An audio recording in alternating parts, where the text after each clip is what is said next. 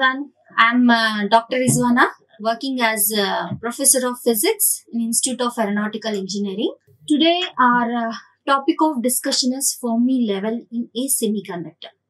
So here, today we are going to do how to find location of Fermi energy level, also Fermi energy associated with Fermi energy level. So in case of different types of semiconductors, and already we know what exactly is our Fermi level. So we know that location of Fermi energy level in a given semiconductor, it depends upon temperature. Or also we can say that definition of Fermi energy level will be different at different temperatures. Suppose if we consider, so here suppose I have gone to intrinsic semiconductor.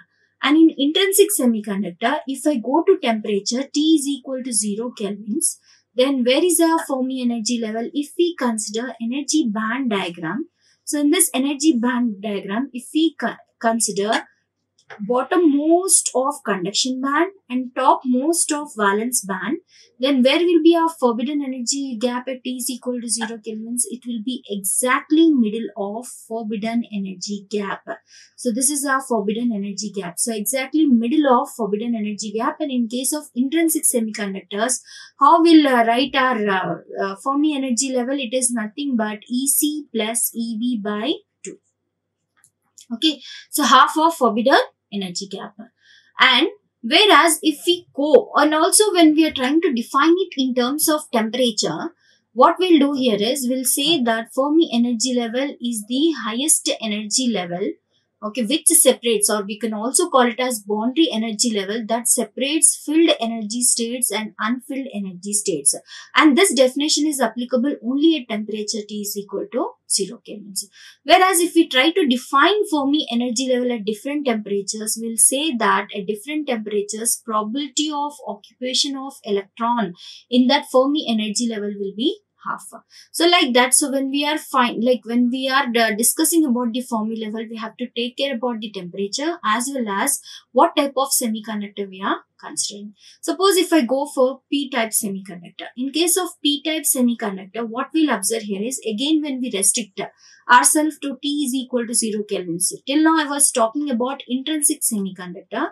But if I go for extrinsic semiconductor, uh, suppose if I have selected p-type semiconductor, in p-type semiconductor, again at T is equal to 0 kelvins. So what is the location of Fermi energy level? Location of Fermi energy level will be middle of as you can see here, in p-type semiconductor, we'll have one more energy level, which is acceptor energy level.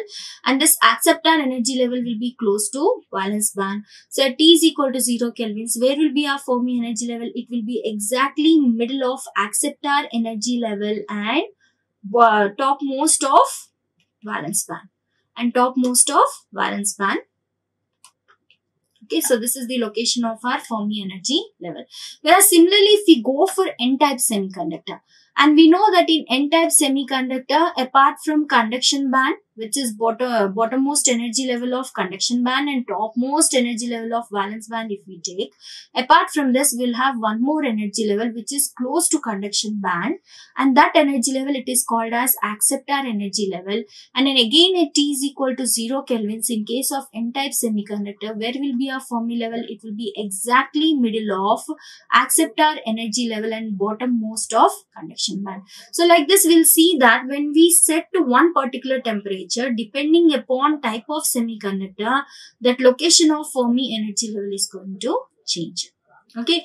And what you are going to observe here is in all these materials when i go when i keep on increasing temperature then location of fermi energy level is going to change. As we have seen that in case of uh, suppose if we go for n-type semiconductor when we keep on increasing temperature what happens to fermi energy level? Slowly it will drop slowly it will drop or it will lower and where it will go it goes to intrinsic fermi energy level. Where is our intrinsic fermi level? Which is exactly middle of valence band and conduction band.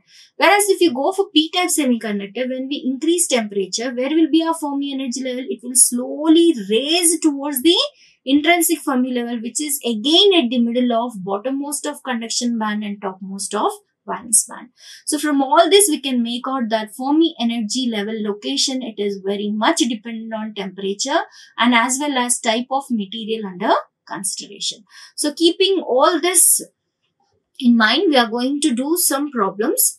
So here coming to our first numerical problem, as you can see here, here we are supposed to find temperature at which Fermi energy level, which is represented by EF, it is shifted by 10% from middle of forbidden energy gap. And actually in this case, our forbidden energy gap, it should be 1.0 electron volts. So it is equal to 1.0 electron volts. And what else is given? We were given effective mass of hole is 4 times the effective mass of electron. So taking all this data into consideration, what we need to find? We need to find the Fermi energy, uh, uh, sorry, we need to find the temperature at which Fermi energy level gets shifted by 10% from middle of forbidden energy gap. And in this case, we were talking about intrinsic semiconductor. And as I told you, in intrinsic semiconductor, at temperature T is equal to 0 Kelvin, where is our forbidden energy gap? Exactly middle of bottommost of conduction band and topmost of valence band. And as I told you, what happens when we increase temperature, slowly that Fermi energy level, it will go up. And we need to find the temperature, okay, at which our Fermi energy level, it has gone up by how much distance? By 10% from middle of forbidden energy okay. So solving this particular problem. So first we'll uh, take out the data given. What is the data given? We were given value of energy gap which is 1 electron volt and which is equal to 1.6 into 10 power of minus 19 joules. And also what else is given? Effective mass of hole is 4 times the effective mass of electron. Or we can write as ratio of effective mass of hole by effective mass of electron is equal to 4 and in case of intrinsic semiconductor what is the formula for Fermi energy? Formula for Fermi energy, it is given as EF is equal to EC plus EV by 2 plus 3 kT by 4 log of ratio of effective mass of hole by effective mass of electron. Okay, so taking this formula, first what I'll do, of course, this formula it is applicable at different temperatures. Now I'll try to do it first at T is equal to 0 Kelvin. So what I'm doing first I'm taking T is equal to 0 Kelvins and suppose if this is our energy band diagram for this intrinsic semiconductor. So if this is our conduction band and if this is our valence band. So at T is equal to 0 Kelvin. So where will be our uh, uh, sorry, where will be our Fermi energy level? So it will be exactly middle Okay, so this is our Fermi level and of course this is our energy band gap. So what is the energy band gap given? Energy band gap it is given as 1 electron volts. So 1 electron volts means obviously this will be 0.5 and this also will be 0.5 electron volts. So we'll try to understand this numerical using our energy band diagram. So this particular location, it means that when we consider from the bottom, where is our Fermi energy level? So when you're talking about Fermi energy level EF, so here if you see, so this also we have to take into consideration. So from here, what is this distance? EV. So EV plus from here, what is the location? Location is 0.5 electron volts. So this is the location of Fermi energy level at temperature T is equal to 0 kelvins. That is what we have done here. So at temperature T is equal to 0 kelvins, we know that this term it will become 0. Where is our Fermi energy level? It is exactly middle of uh, bottommost of conduction band and topmost of valence band. So middle. So that's why, so in place of this, what is my EF? As I have calculated just now, it is EV plus 0.5 electron volts. So this we are going to put in your mind and we are going to proceed further. Now next, what I am doing? And of course, here in this case, I am trying to get this value, this particular value in because it is in electron volts and we know that 1 electron volts is 1.6 into 10 power of minus 19 joules. So this particular value I'm writing it as, as you can see, what is our Fermi energy level? EV plus 0.5 into electron volts. And of course, this is nothing but our middle of the forbidden energy gap and this is applicable only at temperature T is equal to 0 kelvins. Now what I have done next, I started increasing temperature. So when I started increasing temperature, and uh, suppose at one particular temperature T, let us assume that our Fermi energy level got shifted by 10%. Okay, so again coming to our energy band diagram. So when we come back to our energy band diagram, so here this is conduction band and this one is valence band, right? And previously, what is the location of our uh, Fermi energy level at T is equal to 0 kelvins? Exactly middle. That is nothing but EV plus 0.5. But at temperature T, when we are going for temperature T kelvins, previously this was our Fermi level EF. And what was the distance? This distance was 0.5. Right? Because of forbidden energy gap, it is 1 electron volts. Now, but we are saying that at temperature T kelvins, our Fermi energy level, it got shifted and it got shifted by how much percentage? It got shifted by 10% from middle of forbidden energy gap. And what is the 10% of this 1 electron volt? Eg is equal to 1 electron volt. So 10% means it has increased by 0.1. So it means that if I consider total distance, it comes out to be 0.6 electron volts. So at T is equal to 0 kelvins, where is our Fermi energy level? Our Fermi energy level, it will become EV plus 0.5 plus this 0.1 because it got shifted by 10%. So it comes out to be 0.6 electron volts. So that is what we have done in this particular expression. So EV plus 0.6 because it is in electron volts we are putting it in joules as 1.6 into 10 power minus 19 which is equal to EC plus EV by 2 plus 3 kT by 4 log of we have here ratio of effective mass of hole to the effective mass of electron and we know that it is equal to 4 and already we got this value by taking a temperature T Kelvin. So this particular value we are going to substitute in this particular formula and when we rearrange all the terms then we have our temperature coming out to be 116 kelvins. So so what is the temperature at which our Fermi energy level got shifted by 10%? Uh, it comes out to be 116 kelvins. Okay, so going to next problem. So in this problem, here we were given um, band gap what is the value of band gap? And of course here also we are taking intrinsic semiconductor. What is the band gap given? It is given as 0.7 electron volts. And we are asked to determine position of Fermi energy level at which temperature? At 300 kelvins. And what else is given? Effective mass of hole. It is equal to 6 times the effective mass of electron. So here in this case we were given band gap. And of course all other parameters temperature is given and we need to find position of EF. So again, first, because our energy band gap, it is given in electron volts. First, we'll convert it into joules. And what is that conversion? 0.7 into 1.6 into 10 power minus 19 joules. And temperature is also given. And we know formula for, for uh, this Fermi energy level in case of intrinsic semiconductor. What is that formula? EF is equal to EG. Why I have written EG? Because EC plus EV by 2. Okay. So here Eg by 2 plus at T is equal to 0 kelvins. It is exactly middle of forbidden energy gap plus 3 kT by 4 log of mh star by me star. Okay, we know value of forbidden energy gap. What is the value of forbidden energy gap in terms of joules? We have this, we'll put it here. And here, this formula, we are trying to get it in terms of forbidden energy gap using our previous formula which is EC plus EV by 2.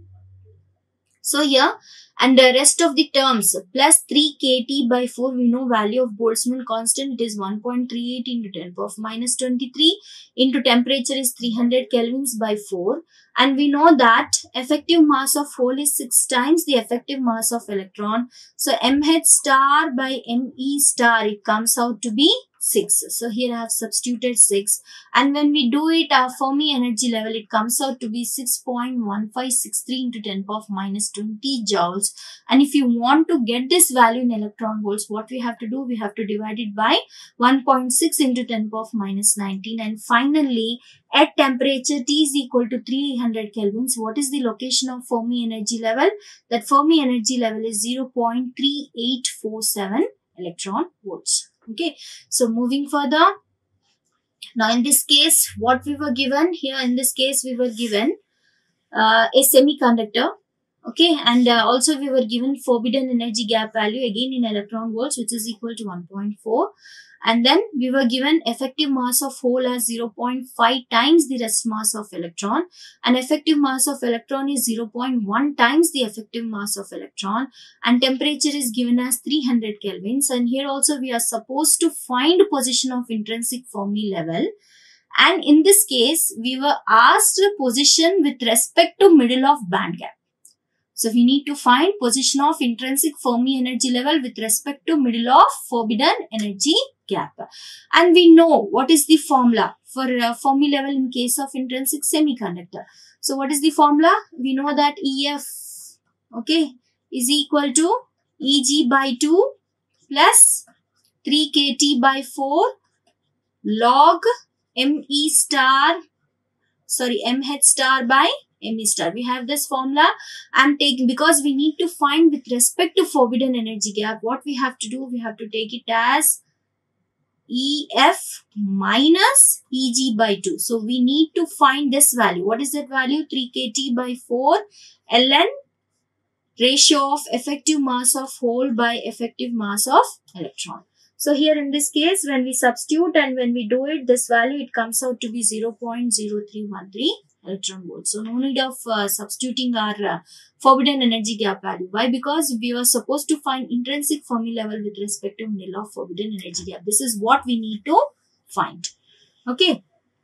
So going next, here in this case, uh, again we need to find temperature at which our Fermi energy level gets uh, here in this case we were given probability Fermi Dirac distribution function value is given and because here we are talking about probability of an electron occupying an energy level and that probability it is given as 1% and also we were given here in this case uh, with energy. What is the energy? Energy it is given as. So here we are talking about energy above Fermi energy. So here we are talking about Fermi energy value with respect to middle of forbidden energy gap. It means that we were given value of E minus EF. Just like we have done in the previous case, we have calculated Fermi energy level with respect to middle of the band gap. So here data given is also uh, like we need to find temperature when there is 1% probability that a state with energy 0.5 electron volts is above Fermi energy level. So what is the data given? We were given probability of Fermi Dirac distribution function which is 1%. It means that it is 1 by 100. And here energy above the Fermi energy. So here we are talking about E minus EF. So this is equal to how much? 0.5 electron volts and we need to find temperature. And what is the formula for Fermi Dirac distribution function? We know that formula is 1 by 1 plus exponential E minus EF by kBT. And uh, because we want to use our uh, uh, energy given in electron volts, so I'll try to convert my Boltzmann constant into joule per Kelvin. Okay, so we know value of a Boltzmann constant is 1.38 into 10 power minus 23 joule per Kelvin. So if I want to convert it into electron volts, then what I have to do? So this joule, so this value I have to divide it by 1.6 into 10 power minus 19. And when I do it, it comes out to be 8.61 into 10 power of minus 5 electron volt per Kelvin. Okay, so now substituting these values here in this formula. So what is uh, the formula we have? Formula is Fermi-Dirac distribution function is 1 by 1 plus exponential E minus EF by KT. Okay, so what is the value of uh, probability? Probability is 1 by 100, 1 divided by 1 plus exponential. What is the value of E minus EF? It is given as 0.5 electron volts. And K also we got in electron volts. And what is the value? It is 8.6 into 10 power minus 5 electron volt per Kelvin. And of course, uh, temperature. We need to find this temperature. So when we rearrange all the terms, of course, we'll get this when we simplify it. Now, in order to find T, I have to take logarithms on both sides. And once I take logarithm, my temperature, it comes out to be 1259 kelvins. So this is one more problem. Okay, so finding temperature once you are given a probability of electron occupation or Fermi Dirac distribution function value is given. Then next problem here. Now this is also in terms of Fermi energy, but here in this case from that Fermi energy given, we need to find total number of free electrons per unit volume at the same temperature. Okay, so what is the data given? We were given Fermi energy of copper and what is the value of Fermi energy of copper? It is given as 7 electron volts. Okay. And it is given at room temperature. And we need to find total number of free electrons per unit volume at the same temperature.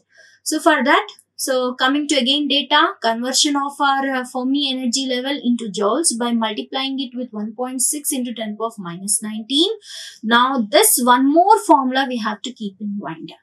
So here in this case, as you can see here, this formula, it will give you relation between Fermi energy level and carrier concentration.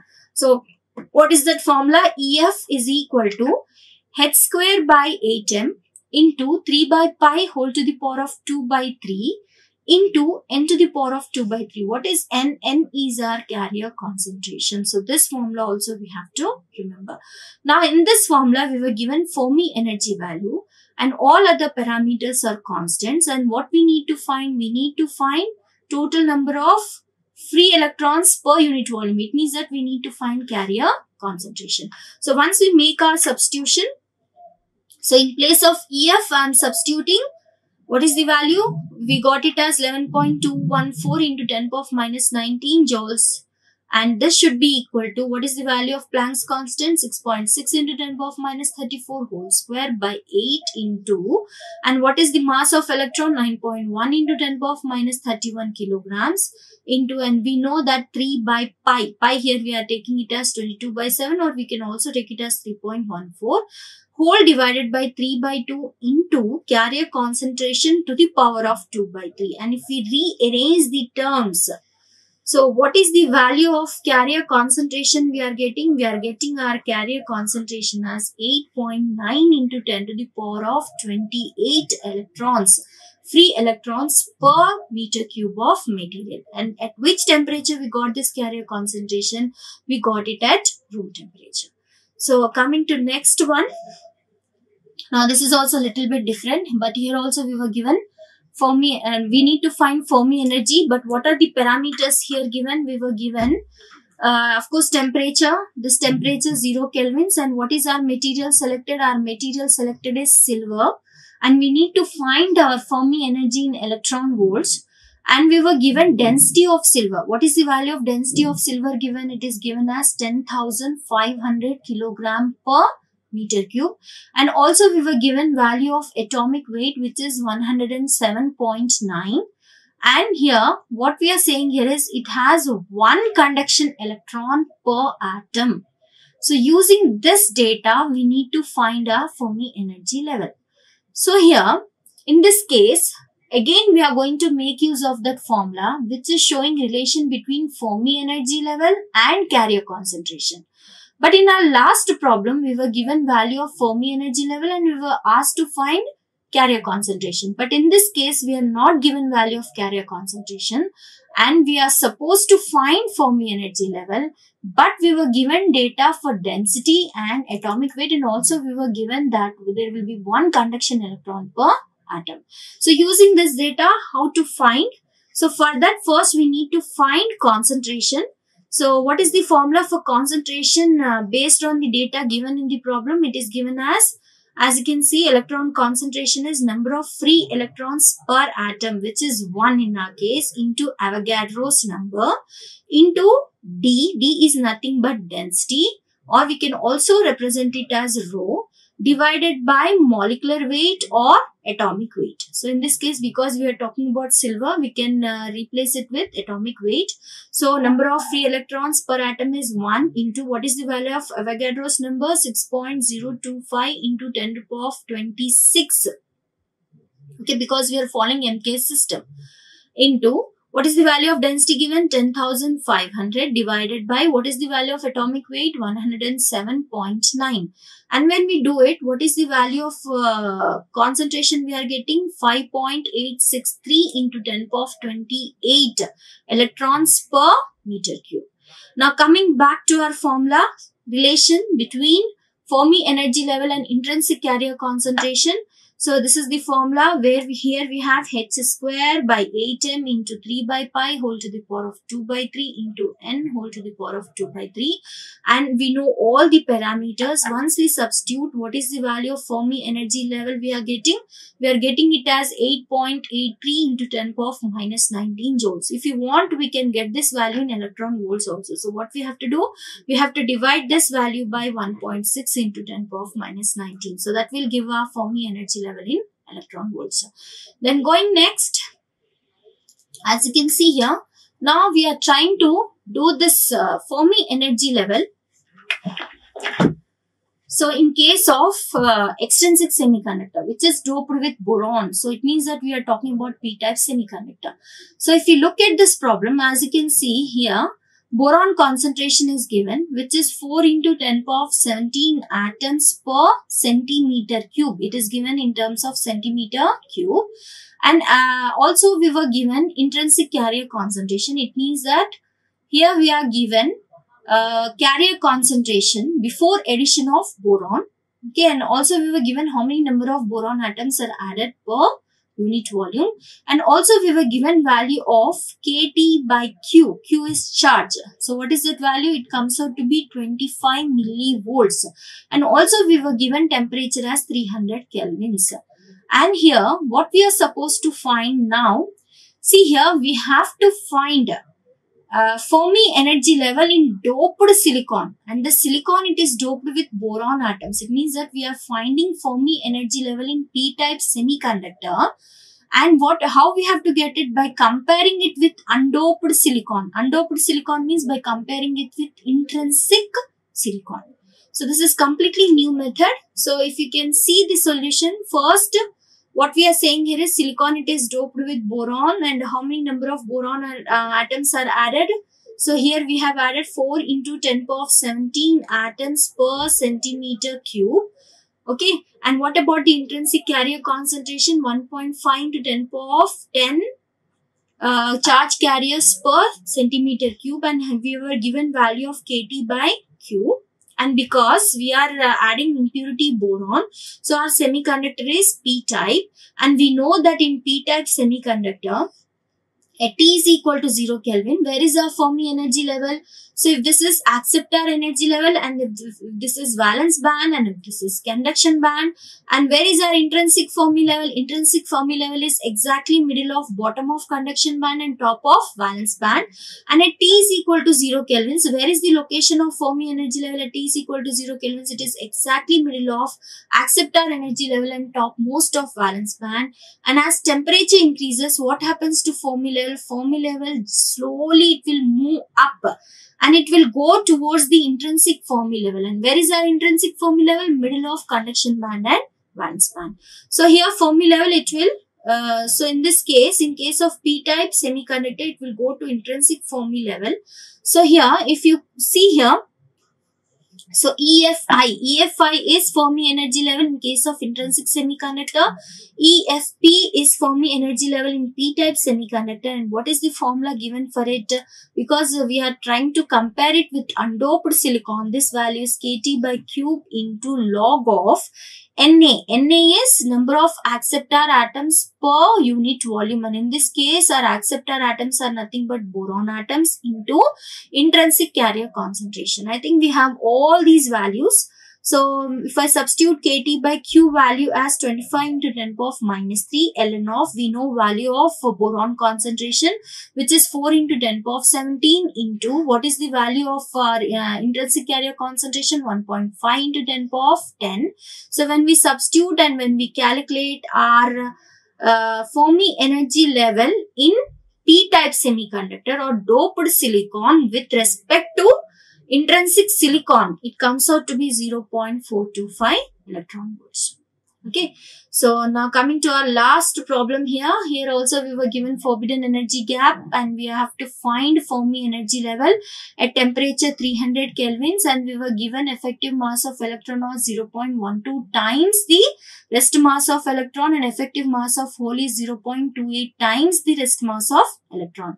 So with this data given, we need to find uh, value of Fermi energy level and we know that in intrinsic semiconductor, what is the formula for finding Fermi energy level? EC plus EV by 2 plus 3 KT by 4 log of ratio of effective mass of hole to effective mass of electron. And at T is equal to 0 kelvins, if we take at T is equal to 0 kelvins, EF is EC plus EV by 2. Okay. And uh, what is our forbidden energy gap? EC minus EV. And uh, we know that uh, in case of a T is equal to 0 kelvins, where is our forbidden energy gap? Forbidden energy gap is at the middle. So at T is equal to 0 kelvins, we have seen that if this is conduction band and if this is valence band, this is our uh, EF and this EF it is EC plus EV by 2 but this EC plus EV by 2 is nothing but EG by 2 but what is our EG? EG is nothing but EC minus EV. So EG is EC minus EV or EC minus EV by 2. So that is what we have done here.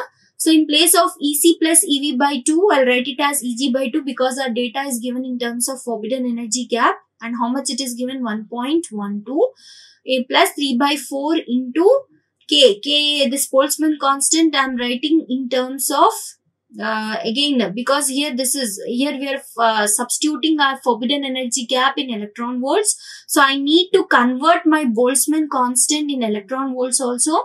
Its value is actually 1.38 into 10 power minus 23 joule per kelvin.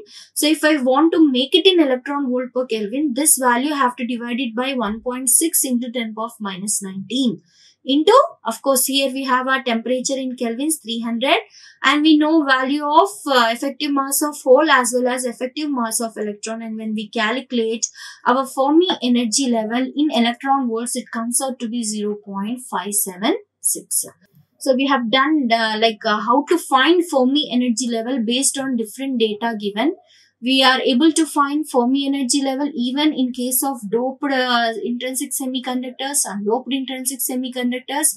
And if data is given in terms of forbidden energy gap, if data is given in terms of intrinsic carrier concentration, and also we have, we tried to find Fermi energy level if data is given in terms of uh, density and atomic weight. So we have done various problems and with this it will give us better understanding about the Fermi energy level. So I'm going to stop my session here. Thank you. Like, share and subscribe. Hit the bell icon for more updates.